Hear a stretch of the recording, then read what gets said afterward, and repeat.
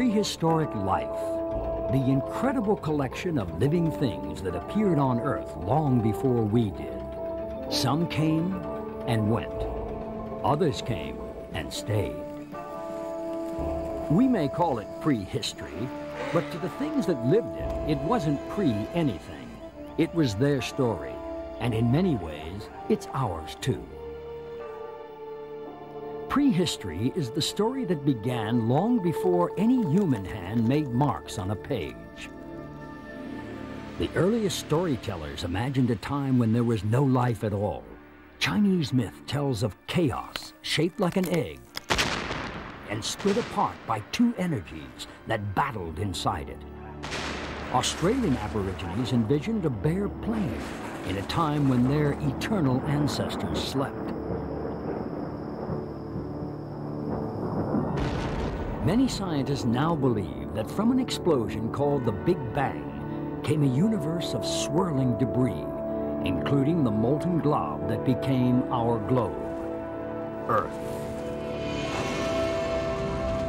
Across millions of years, a kind of soup began to float on the surface of murky seas.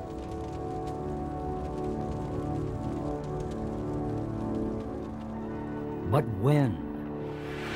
How can we tell the time passing in a world unseen by any living thing? An early estimate was by a 17th century scholar, Archbishop Ussher. By adding up the ages of people named in the Bible, he calculated that the earth was created in 4004 BC.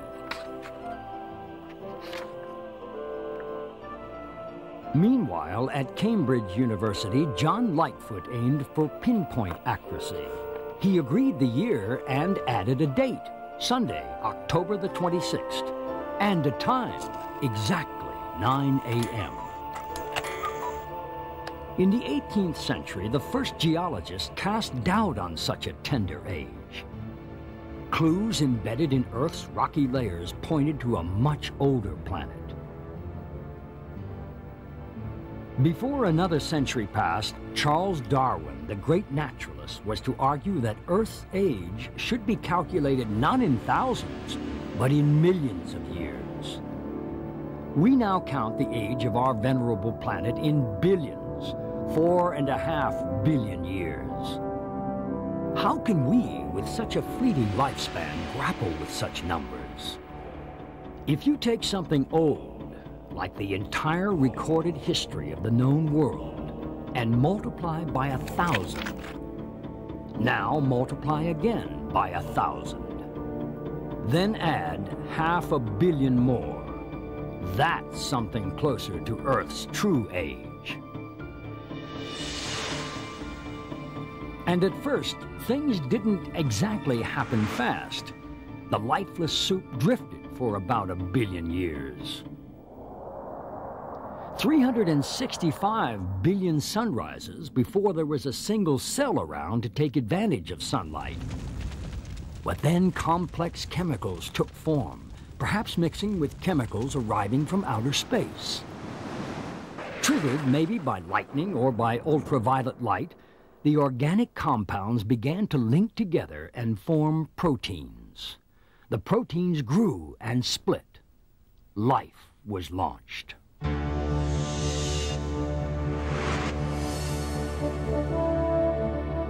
The record of prehistoric life is written in rock, fossils.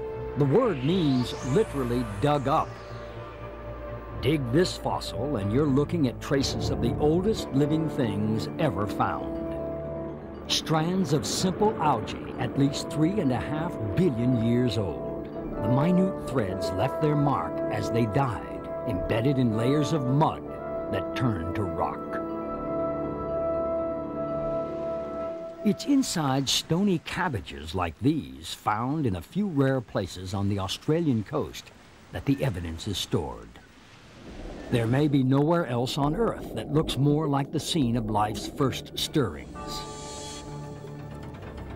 When life stops stirring, it may record the moment in a fossil. If mud or sand settles quickly and turns to rock, the recently deceased is stored in the vaults of time.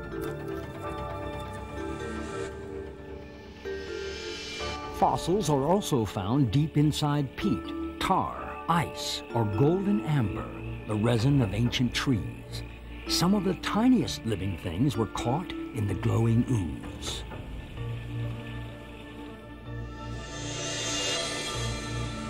As Earth's rocky layers are laid down, pushed up, and crumble away, fossils emerge.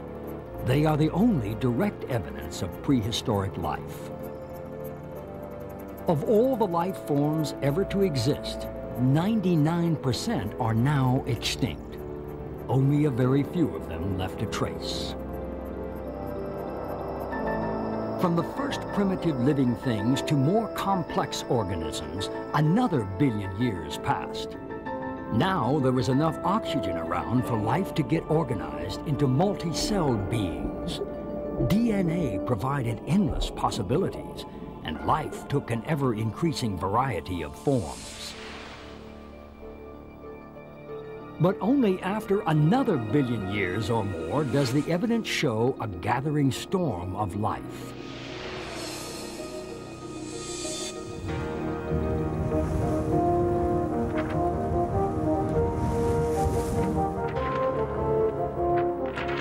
From a more recent layer come more than a dozen different kinds of jellyfish, looking like flowers flattened in their two-dimensional graves.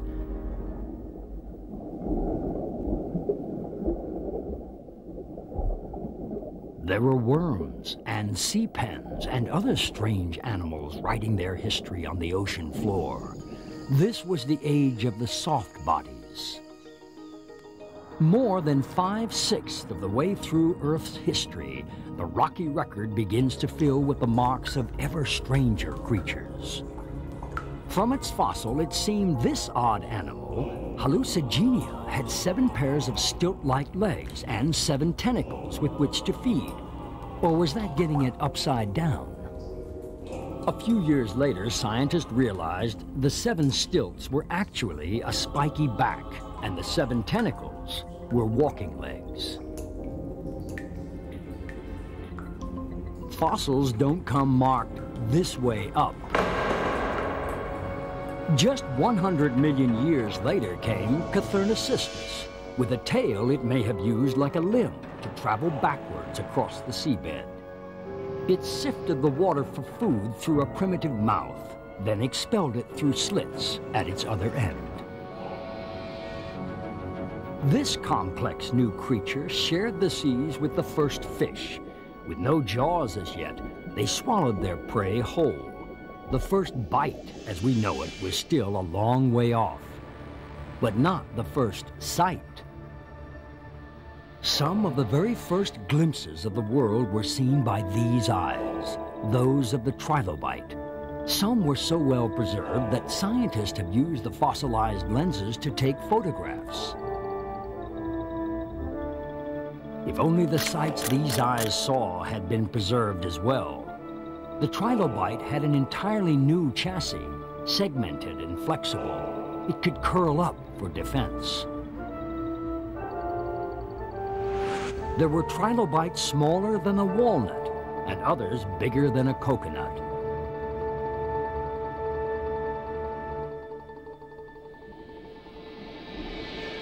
Eyes were some of the sophisticated new features that began to evolve. Before another 100 million years had passed, some of the big artillery arrived, combining keen eyesight with the first biting mouths. Imagine a great white shark wearing full body armor, and you've got the leading predator of its day, Dunkleosteus. Long before the more famous Jaws, it ate primitive sharks for breakfast. Whether a fossil comes from a watery grave or a dusty dig, it comes up needing a date. Marie Curie is famous for discovering X-rays, but her work with radioactivity also made it possible to assign dates to fossils. Chemical elements within rocks decay, and that can be measured. For instance, the less uranium-238 a rock contains, the older it is. Whatever its age, assembling a fossil is like building a model. but with no instructions and definitely no picture on the box. And most likely, there are pieces missing. Just before the age of fishes, some early pioneers had made landfall. But these colonizers weren't animals, they were plants. Small and without leaves or flowers, they did have the first roots.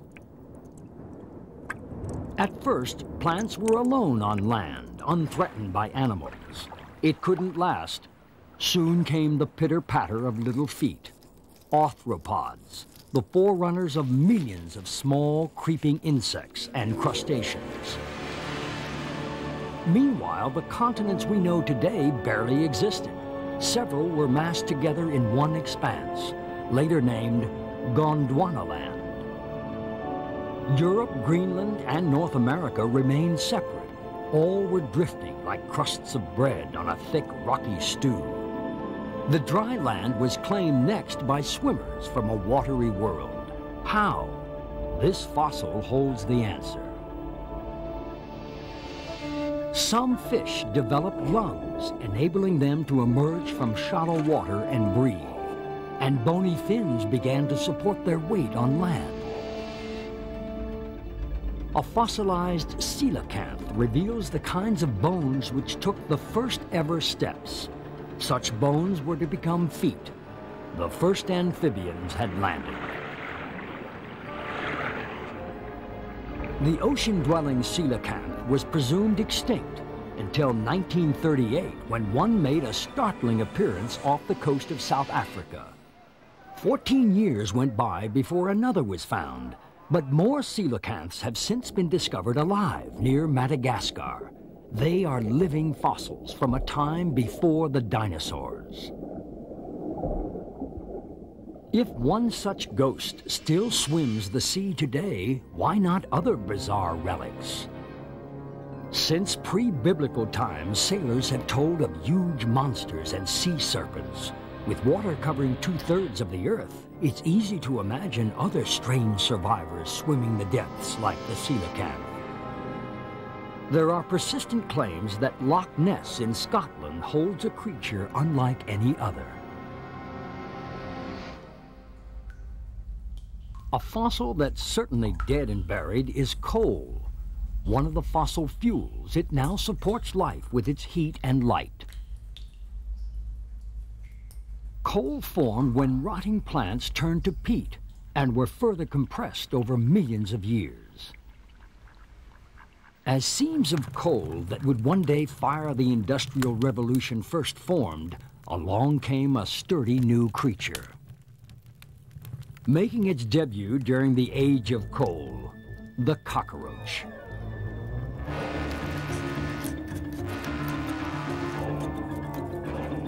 It can withstand extreme heat and cold, drought and famine.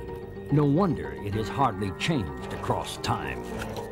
Segmented bodies were a hit, and this was just one of the insects to scurry through the leaf litter. Today's cockroaches scavenge for anything from toenails to toothpaste. Could their well-known partiality for small, dark crevices have led to the use of cockroaches as a remedy for earache? Ground cockroach entrails mixed with oil were used as recently as the 16th century to treat an aching ear. The ancient cockroach had some truly fantastic neighbors.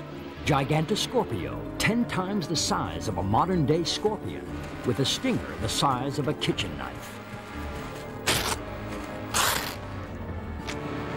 The even larger Arthropleura took locomotion to new lengths, like a centipede crossed with a stretch limo. There were dragonflies seven times the size of the modern emperor dragonfly. And the first reptiles evolved from amphibians. They were adapted to life on land, laying eggs with a tough skin that didn't dry out in air. A major new development. Fossils lay buried for millions of years before they were first glimpsed by some latecomers in the evolutionary story. Fossil collectors. Among the first to profit from the finds was a 19th century British girl, Mary Anning. When just 11 years old, Mary found an ichthyosaur in sands near her home. She sold it for 23 pounds, the price of a small house at the time.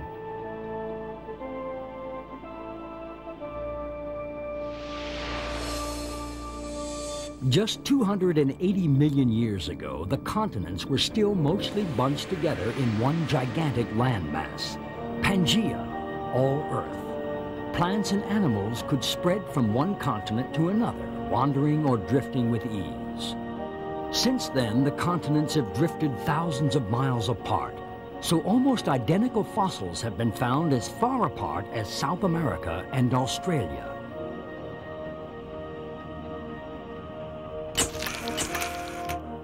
A vast number of animals have walked the Earth. Estimates run as high as 3 billion different species. None has so mesmerized the human mind as the largest of them all. Tyrannosaurus rex, mascot of the age of the dinosaurs. But even T-Rex was topped by flying reptiles like the giant pterosaur, in the Nevada desert, a reconstructed pterosaur took flight with a computer for a brain. Even at half scale, its wingspan matched that of a modern glider.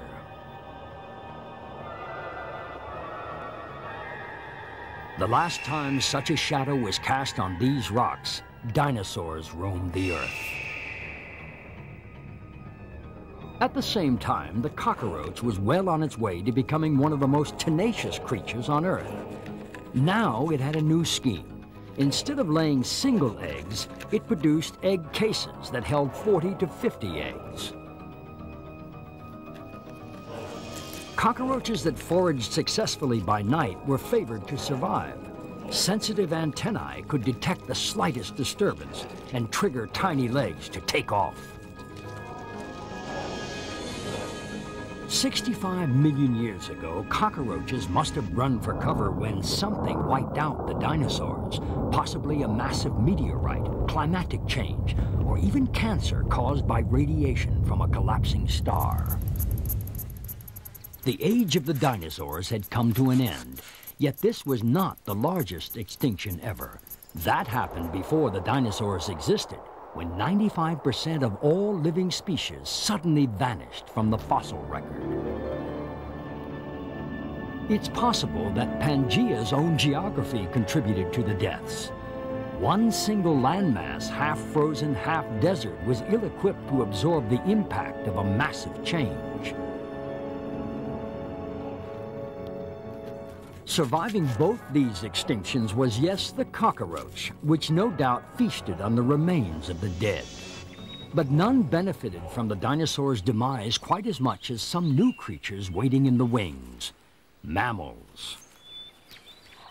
Unlike the reptiles, mammals were warm-blooded. They could hunt at night, and they developed special tools to carry with them on the hunt. Daggers and blades, slicers and choppers. For some, permanent meshing teeth. And unlike reptiles, whose eggs are vulnerable to attack, the mammals had a new reproductive system. Their young developed internally, and newborns were fed on milk. The complex design worked for mammals on the wing, beneath the waves, and underground. And arms and legs could carry mammals across the continents, all evolved from animals that lived when the dinosaurs walked the earth. There were other survivors from before the dinosaurs. The magnolia, one of the most ancient flowers on Earth. The crocodile, though it has changed a bit. Some crocodiles once grew to the length of two tanks, put end to end. Maybe it's not so surprising that early images of dragons are virtually identical to crocodiles with wings. Birds too survived. From out of the reptiles they had flown with the feathers evolved from scales.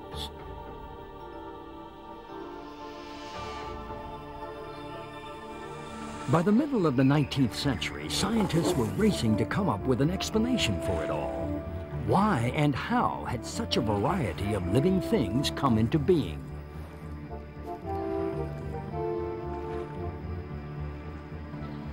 Charles Darwin's theory of evolution by natural selection was based on his observations of the natural world. By 1859, he concluded that it is the animals best suited to survive that are most likely to pass their characteristics on to the next generation. Tortoises were one tip-off. In the Galapagos Islands, those that needed to reach high into the brush for food could. Their necks and shells, different from those tortoises on the other islands, seem to have evolved for that purpose. Darwin's new theory could explain even this, a three-toed foot on a horse-like animal. As the strongest toe continued to evolve, it became the single hoof seen today with fantastic running ability over hard ground. As a period much closer to our time thundered along, familiar forms took shape, but with unfamiliar twists. The ground sloth didn't live in trees like its descendants, since few trees could support its weight.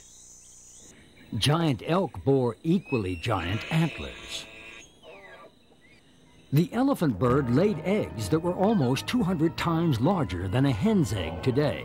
Some animals grew to immense sizes just because they could. There was an abundance of food and little competition. Other animals, however, started small. The earliest horses were only the size of a dog.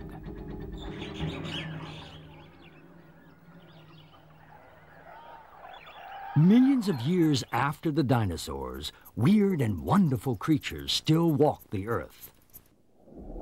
Or found other means of travel with features that were scrambled in surprising combinations. The South American mixed-up mammal had an elephant's trunk, a camel's body, and the feet of a rhinoceros.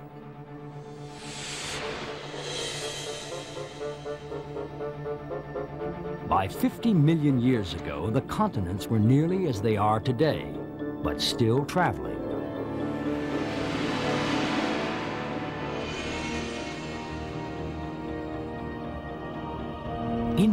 Crashed into Asia, creating the Himalayas, which are still rising today.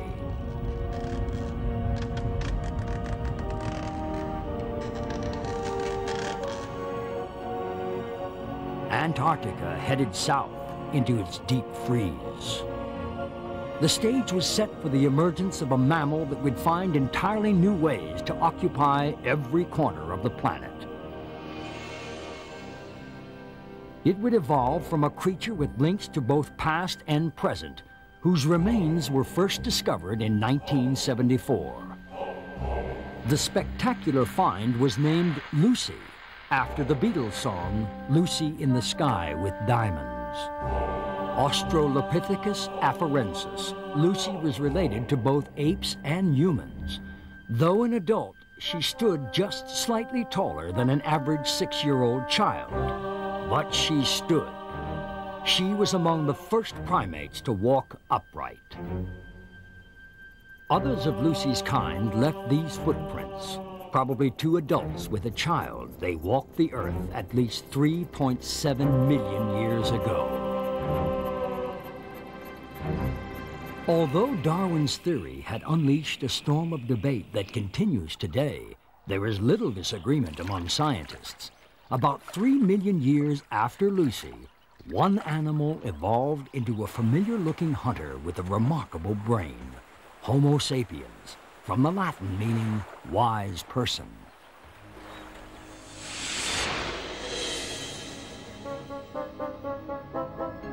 Modern humanity's debut came just a heartbeat ago by Earth's time. But it was not a smooth ride. There were at least seven variations on the human theme, including the Neanderthals, whose remains were first found at the Neander Valley in Germany.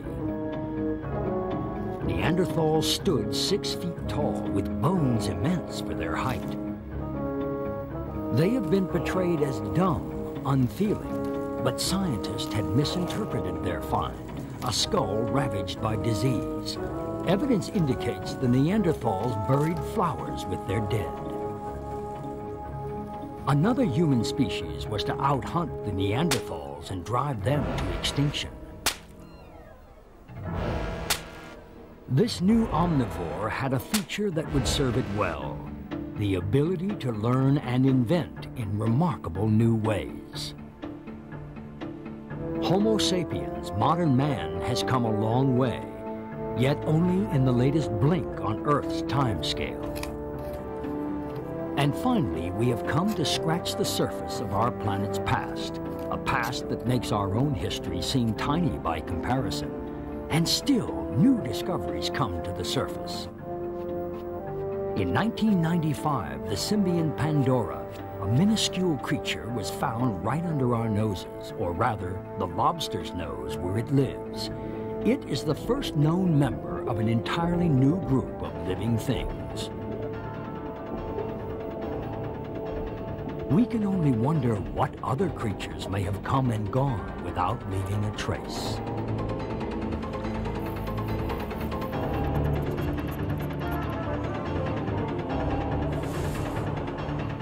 Whatever our future holds, it's likely that life in some form will carry on, tenacious and resilient as the cockroach. And could another life story be in the making? In a universe of solar systems, it seems more than possible.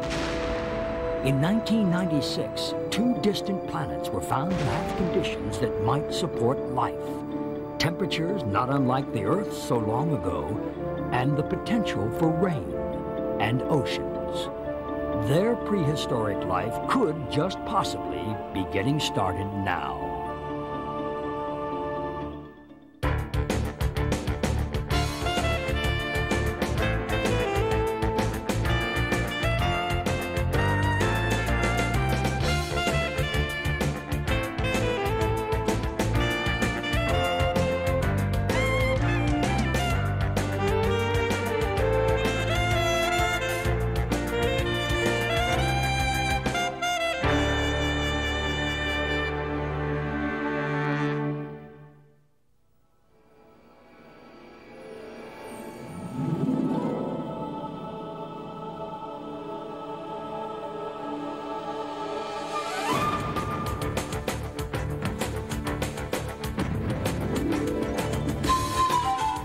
Eyewitness Museum.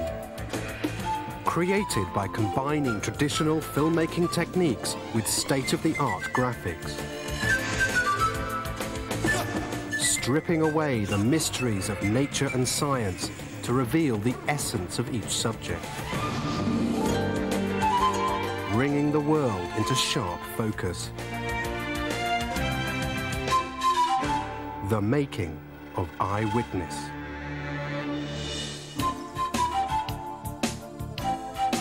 The distinct style of the Eyewitness books is the basis for each of the programs.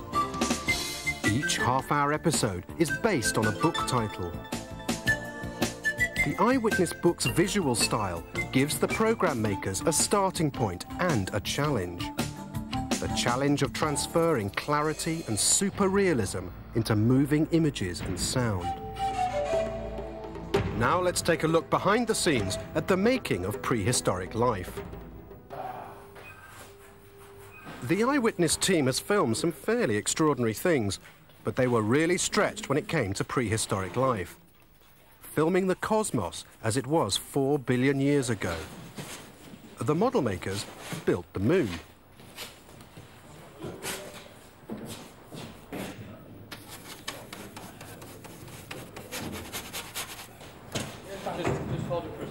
After using untold buckets of white paint to create the eyewitness style, the crew now had to plunge the studio into blackness. Light-absorbing velvet drapes were suspended from the walls, and the studio lights were dimmed in shrouds.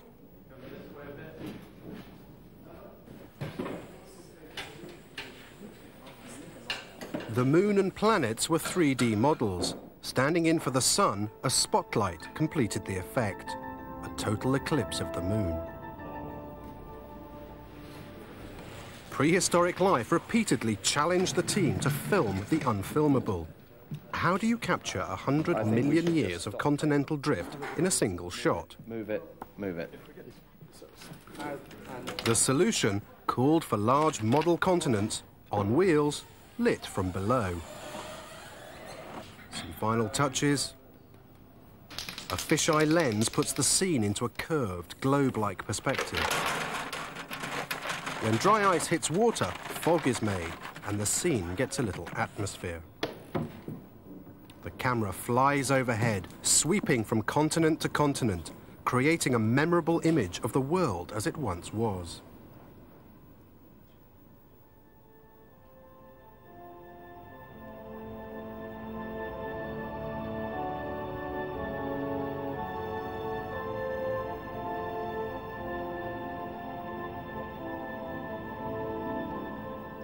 Here's another challenge.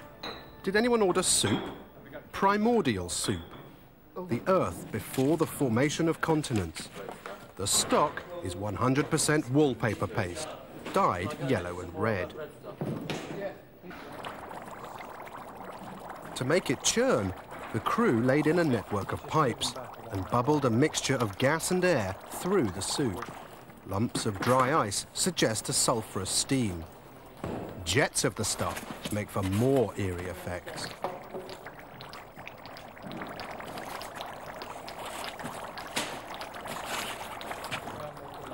And once the gas is lit, the newly formed Earth is ready for flyover filming. Aerial shots of a subject which precedes the aeroplane and photography by four billion years.